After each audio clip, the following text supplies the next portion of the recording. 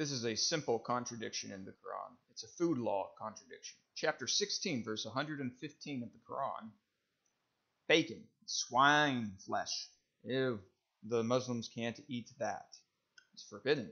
However, in chapter 5, verse 5 of the Quran, today all good things are made lawful for you, and the food of those given the scripture is lawful for you, and your food is lawful for them. Well, that's false.